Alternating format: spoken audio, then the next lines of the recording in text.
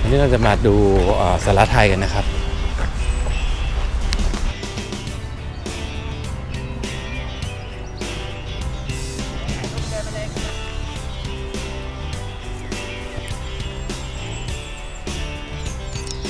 ในกาแดดน้ำใสอีกแล้ว เนี่ยฮะบรรยากาศของเมืองโลซานนะครับนี่ใกล้ๆกับสารไทยนะฮะ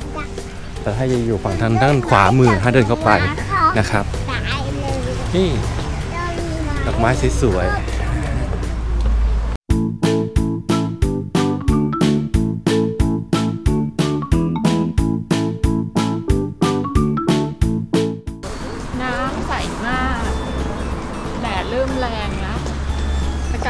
ยเย็นเท่าไหร่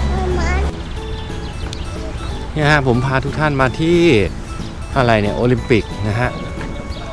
เขาบอกว่าโลซาเป็นเมืองโอลิมปิกนะครับผม ก็เดี๋ยวเราข้ามถนนไปดูกันนะฮะ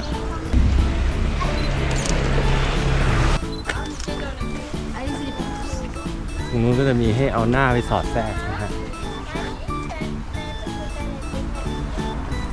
ก็มีรูปปั้นอยู่ข้างบนนะฮะ นี่แต่ละขั้นนะเขาจะมีลอนดอน 1952 ออสโล 19เฮลซิงกินะฮะแต่ละขั้นนะฮะก็จะมี ว่าจัดแต่ที่เมืองไหน 1956 นะฮะหนึ่งนี่เมลเบิร์นอะไรพวกเนี้ยฮะเนี่ยฮะโลมนะ1960 นี่ฮะที่จะดูแล้วฮะ อันนั้นทิวลิปเริ่มบานนะครับ สวยรูปปั้นอะไรครับเนี่ย อ๋อ ก็จะเป็นรูปปั้นพวก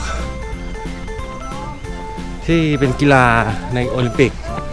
นะฮะ อันนี้ก็จะเป็นอะไรเนี่ยคว้างจักรว่า ก็จะติดติดแนวตาเลียนนะอันนี้วิ่งฮะทำไมต้องแก้ผ้าด้วยไม่เข้าใจ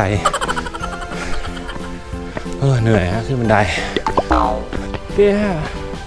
มีมวยปั้มครับปั่นจักรยานนะครับ มีมวยปั้มนะฮะ จักรยาน โอเคผมก็พาทุกท่านเดินขึ้นไปจนถึง ตัวพิพิธภัณฑ์นะครับ